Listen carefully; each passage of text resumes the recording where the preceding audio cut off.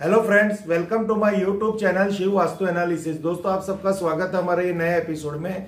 वास्तु, अपनाओ लाइफ बनाओ। ये एपिसोड एवरी नाइट 9 पीएम को हम अपलोड करते हैं। फ्रेंड्स आज के इस एपिसोड में, आज के जो हमारे एक श्रोता है, वो सूरत के वतनी है। उन्होंने हमें एक कॉल किया था कि मेरा जो किचन प्लेटफॉर्म है, यानी मेरी जो किचन है, वास्तु के साउथ ईस्ट जोन में है, पर जो प्लेटफॉर्म है, वो ब्लैक कलर का है। फ्रेंड्स आज आपको इस, ये जो रोमांचक उनका सवाल है, उसका बहुत अच्छा जवाब मैं आपको देने की कोशिश करूँगा। अगर जब कभी भी वास्तु के अंदर, समझो कि अग्निकोण के अंदर किचन होता है तो ये वास्तु का बहुत ही अच्छा हंड्रेड परसेंट पॉजिटिव पॉइंट है। पर क्या कभी आपने सोचा है कि किचन अगर अग्निकोण में है तो क्या पूरा वास्तु बन गया? नहीं। अगर आपका किचन अग्निकोण में है, और खाना बनाने वाले जो हमारे घर की फीमेल है या मेल है, उसका मुँह east zone east west east zone में नहीं हो रहा तो भी वास्तु दोष बनेगा। यानी पर इनका जो सवाल है कि हमारा घर का जो किचन है, वो अग्निकोण में है, और खाना जो बनाते हमारे घर के अंदर सदस्य, उसका मुँह भी समझो कि वो पूर्व दिशा की तरफ़ ही है। अब प्रॉब्लम्स क्या है? पर उनका जो किचन प्लेटफॉर्म है, वो ब्लैक कलर का है। यहाँ ही वास्तु दोष क्रिएट हो रहा है।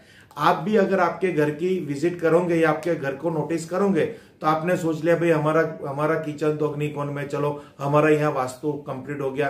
पर आपने कभी ये देखा कि प्लेटफॉर्म किस कलर का है, किस प्रोडक्ट का है, कौन से पत्थर का है? ये बहुत बड़ा वास्तु के अंदर रोल है। कभी कभी क्या होता है कि प्लेटफॉर्म अगर और कोई पत्थर का जो वास्तु के विपरीत हो, या वो जोन के विपरीत भी हो तो भी वास्तु दोष होता है। जैसे अगर ईस्ट जोन के अंदर अग्निकोण के अंदर अगर आपका किचन है और प्लेटफॉर्म अगर ब्लैक ग्रेनाइट का है, ये अक्सर लोगों के घरों में देखा जाता है। और अक्सर आजकल भारत के 90 परसेंट घरों के अंदर अगर घर का हम सर्वे करेंगे तो घर के अंदर स्त्रियाँ बहुत बीमार रहती है। वास्तु प्रॉपर है, घर की लाइफस्टाइल प्रॉपर है, अनाज के भंडार है, बादाम है, घी है, सब कुछ घर के अंदर है। पैसा भी है, पर स्त्रियाँ हमेशा बीमार रहती है नेगेटिव थिंकिंग रहती है, उसको कभी कमर के दर्द, कभी पीठ का दर्द कभी पाँव का दर्द, बहुत सारी तकलीफ़ उनको झेलनी पड़ती है। क्योंकि क्या, ये क्या रीजन है? ये वास्तु से रिलेटेड है? हाँ ये एक वास्तु से रिलेटेड है। मानने में थोड़ा आपको विचित्र लगेगा, पर ये हंड्रेड परसेंट वास्तु से रिलेटेड है। अब मैं जो आपको कहने जा रहा हूँ, वही चीज़ आपके घर के अंदर आप देखना तो आपको पता चलेगा। और जो हमारे सूरत के ये जो वतनी है, जो हमारे श्रोता है, मैं उम्मीद करता हूँ कि वो अभी हमारा वीडियो देख रहे होंगे तो उनको भी उनके सवाल का जवाब मिल जाएगा इस इस वीडियो के अंदर। अब जब भी हम किचन के प्लेटफॉर्म की बात करेंगे तो ब्लैक ब्लैक ग्रेनाइट यानी ब्लैक कलर हमेशा पानी को रिप्रेजेंट यानी वाटर को भी रिप्रेजेंट करता है और उसके ऊपर हम बर्नर रखते हैं, गैस रखते हैं, कोई भी चूल्हा रखते हैं तो वो फायर फायर यानी अग्नि को रिप्रेजेंट करता है, पानी फायर को रिप्रेजेंट करता है। ब्लैक कलर वाटर को रिप्रेजेंट करेगा और फायर फायर को प्रेजेंट करेगा। अब क्या होता है, जब भी हम अग्नि, गैस का उपयोग करते हैं तो वो प्लेटफॉर्म के ऊपर वो बर्नर के माध्यम से अग्नि हमें प्रज्वलित होती है। यानी पानी पानी के ऊपर अग्नि का आवरण हो जाता है और पानी और अग्नि बरसों से एक दूसरे दुश्मन है। ये एक दूसरी ऑपोजिट अलाइनमेंट है, जो कभी भी एक दूसरे के सामने आएँगे तो नेगेटिव वास्तु क्रिएट करेंगे नेगेटिव एनर्जी क्रिएट करेंगे। क्योंकि पानी को ऐसा कि अग्नि मेरा क्या कर लेगी और अग्नि को ऐसा कि पानी मेरा क्या कर लेगा। ये दोनों जो ऑपोजिट अलाइनमेंट है, वो कभी भी एक जोन के अंदर नहीं रह सकते। अगर कोई वास्तु के कोई भी एक जोन के अंदर ये दोनों अलाइनमेंट आ गए तो वहाँ पे हंड्रेड परसेंट वास्तु का वास्तु दोष होगा। और अग्निकोण के अंदर ये जो वास्तु दोष बन रहा है तो अग्नि की अग्निकोण फीमेल का कौन है। वहाँ पे स्त्रियों का साम्राज्य है, क्योंकि वो एट एट आवर्स तो अग्नि अग्निकोण यानी किचन के अंदर रहते हैं। वहाँ की जो नेगेटिविटी है, वो उसकी बॉडी पे उसकी रिएक्शन आती है, जिसकी वजह से वो हमेशा बीमार रहती है। फ्रेंड्स ये जो अगर आप नहीं समझ पा रहे तो मैं आपको फिर रिपीट कर रहा हूँ। अगर अग्नि कौन के अंदर अगर आपका किचन है, पर प्लेटफॉर्म ब्लैक कलर का है तो वो वास्तु दोष कहा जाएगा? ये सुनने में थोड़ा आपको विचलित लग रहा है, पर ये सबसे बड़ा वास्तु दोष है। तो अब इसकी रेमेडी क्या है?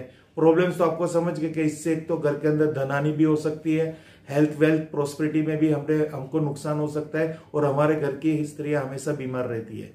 अब उसका रेमेडी क्या है? अब उसकी एक ही सिंपल रेमेडी है, आपको इसके लिए बहुत खर्चा भी नहीं करना पड़ेगा। एक रेमेडी है, जो मेरा एक वीडियो है किचन प्लेटफॉर्म का, मैंने ऑलरेडी इस पर अपलोड किया और उसकी लिंक मेरे इस वीडियो के डिस्क्रिप्शन में आपको मिल जाएगी।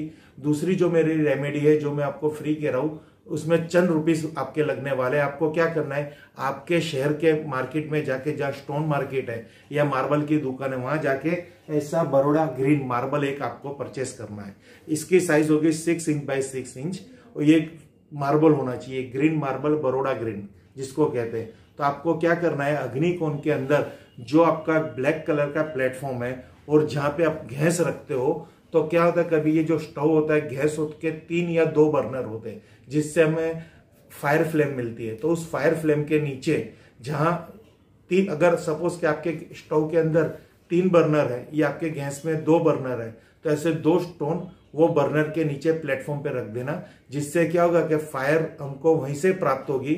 हमारा किचन भी वो होगा, ब्लैक ग्रेनाइट भी वही है, पर फायर और ब्लैक ग्रेनाइट के बीच में ये ग्रीन स्टोन अपना काम करेगा। यानी ये आपका वास्तु दोष को निवारण करेगा। अगर ये वास्तु दोष और कोई डायरेक्शन में भी है, उसका भी मैं एक आगे प्रॉपरली वीडियो अपलोड करने वालों कि किचन कौन से कोने में होना चाहिए और कौन से कौन से कोने में पॉजिटिव है और कौन से कोने के या कौन से जोन में किचन है तो उसकी क्या रेमेडी है। पर आज का जो मेरा ये वास्तु अपनाओ लाइव बनाओ, जो एपिसोड है वो स्पेशली कोई व्यूवर्स पे ही मैं डिपेंड करता हूँ कि उसके पूछे जाने सवाल, पूछे गए हुए सवाल का जवाब देना।